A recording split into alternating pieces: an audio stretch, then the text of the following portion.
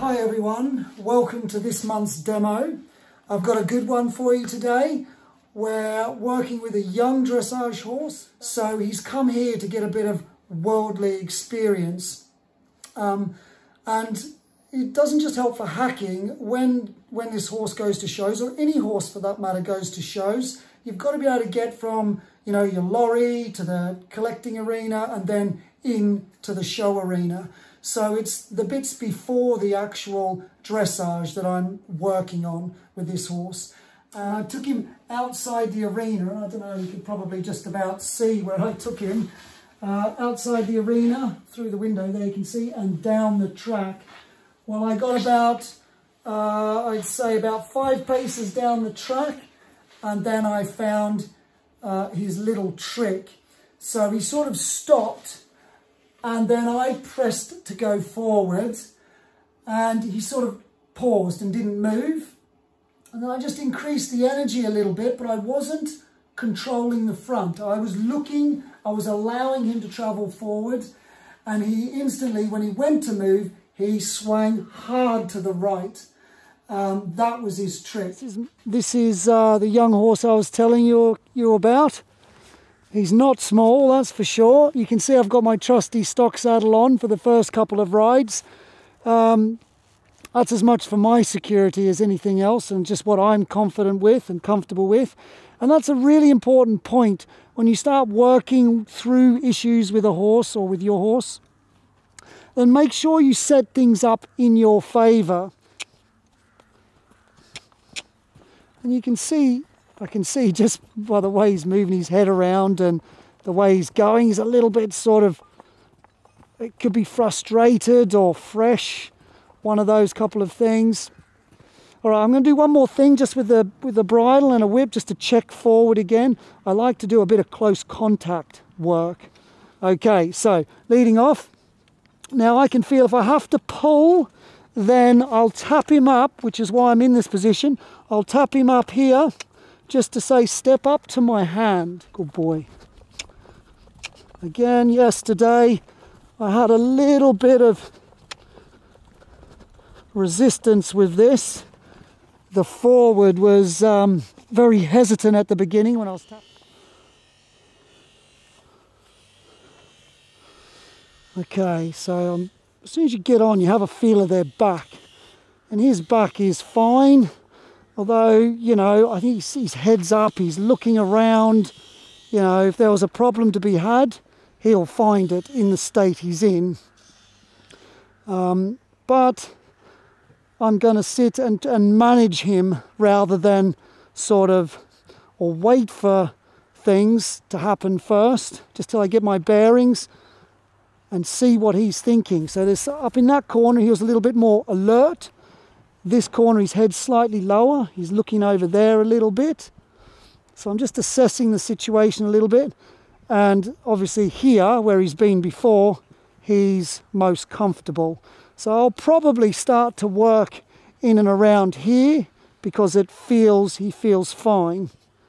These little things I'm noticing when he's given the freedom can help me to work in, a, in, a, in an area that's easier to work in until I start to connect a little bit.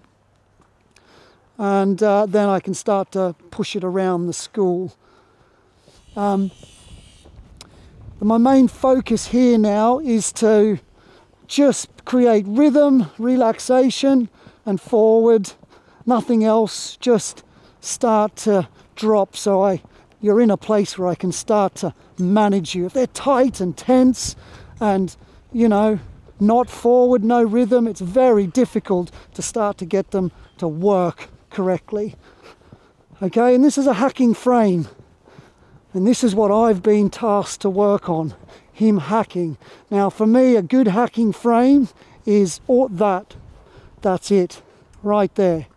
Golden head out, down. You know, you'd like to have the head, you know, as or the head and neck stretched right out and load, not not in an outline. We're not looking to do that with a with a horse when we're hacking. We just want to relax and swing.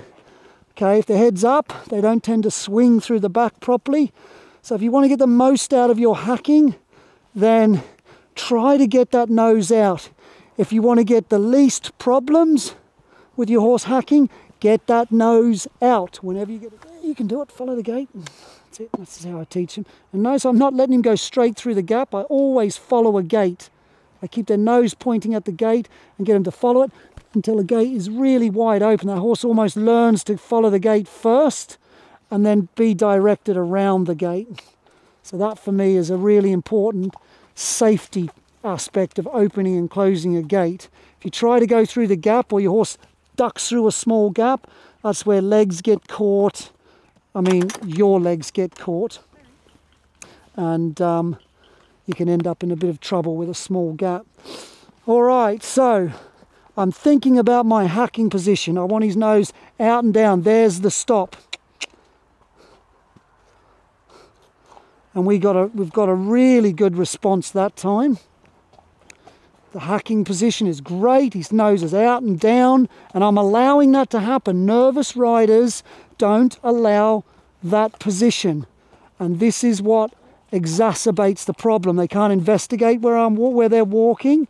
So for him, he's got to negotiate that, and off we go. So it took me about oh, five minutes to get to this point yesterday because I had about three or four attempts at him going back back to the um, stables.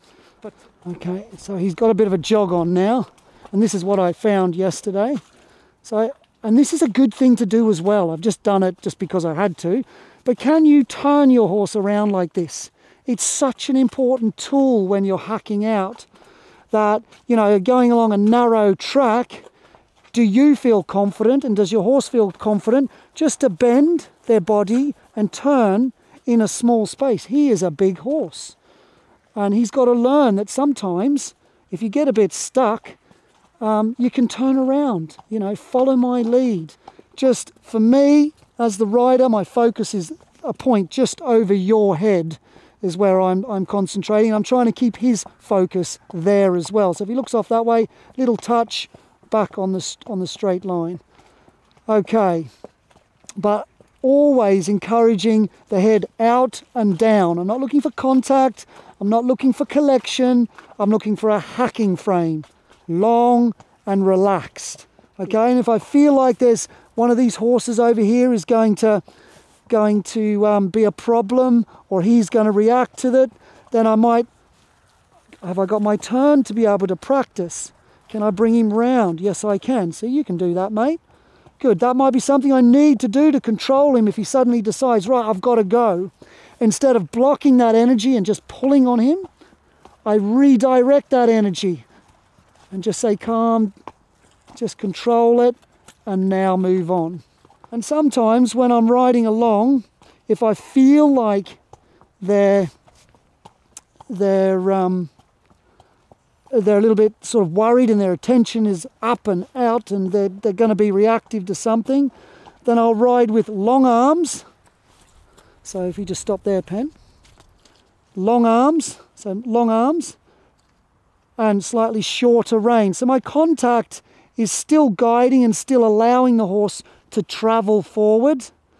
But if there's a problem, I've got this much elbow maneuver, maneuverability to control my horse so I can quite easily turn there just by bending my elbow. If I'm riding with short arms and longer reins, so I have the same contact, then when it comes to control a situation where my horse is in this sort of posture, up and looking and ready to react, then uh, I'm going to end up turning, but look where my hand's gone. I'm suddenly out out of balance and I've got my hand in a very awkward sort of spot. Now, Pen, so I'm just going to ask Penny, who's on the camera, to wait. I'm going to ride down here. He might object to something. There's some horses over there he's looking at. And I want him to take my lead. So when the camera, when Penny's in front with the camera, he could be going, well, this is fine, because if someone's going to eat get eaten, it's going to be Penny because she's in front of me. If he's so over here, I've got some a curtain that I hang out of a tree, and I get all my horses. They, they when they're hacking, they've got to go over, around, and through things. So this can be you know, an obstacle for him. You can see I've, I've got it quite open, so there's plenty of room for him to get his nose through there. Okay, he's thinking nice and forward. Oh, there's that, there's that spin to the spin to the right. Okay, I need to be thinking. I, I sort of gave him the benefit of there, but that's where that turning to being able to do that circle is really important. Now he's investigating this, so that's that's fine. Allow that to happen. Now there's that little tap. You can see there, he was thinking, I've got to back out of this and go that way, which is what he was doing with not this, he was doing it just with nothing in front of him. So ask for forward and allow him to have a look. This is this is a big ask for him. He's looking at this gap thinking, can I really fit through there? So I need to give him a chance. I'm not going to force this. If I put too much energy in now, that energy is going to overwhelm him and push into panic. So at this point, when he's investigating and thinking about where he's going, I'm going to give him some time. He's in a learning phase. Now he's switched off. He's looked elsewhere. So I'm going to engage him again by asking him to step forward. Sniffing. This is good. He's investigating. You need to encourage this when you're with horses that are going hacking.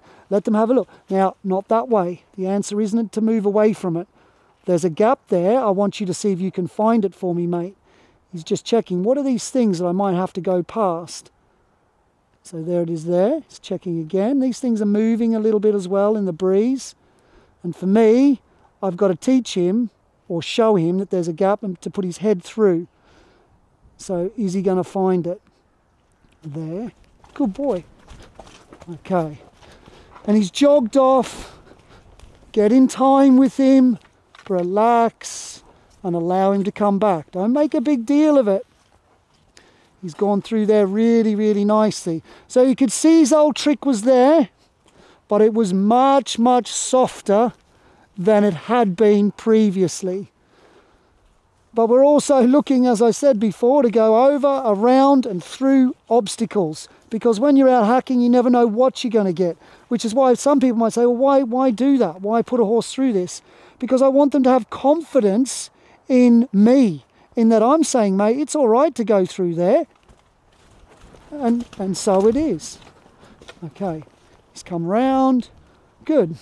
Good boy. Well done. Okay, it's rushing through there a little bit, but um, that is absolutely fine for the moment. And you have to embrace that as well. When you're going through ob obstacles, people get worried about what's going to happen the other side. Make sure you're confident with doing a turn and allow that little rush to happen. You can, you can imagine yourself, you're sort of going through something you're not sure about, you just want to get it done. So you get through it, and once you get through it, you go, you get that sense of, I did it and I'm all right. And that's the start of building confidence. Whereas if you go through it and you get this sort of, oh God, and pulled, you're thinking, the horse will be thinking, well, I went through it, but I don't want to go through and be pulled again. So you have to be a little bit aware of your feel when you're going through these sorts of obstacles. And accept they might just rush a little bit, but that's okay. I know I can do a circle, bring you around, and it's fine. And then eventually what happens is they start to get their confidence and realize, it might take a few days sometimes, they start to realize that actually I can go through here, I don't need to panic because nothing happens. Nothing does happen. And that's the stepping stone to building confidence. And there we go, we're starting to see that now. So that's brilliant.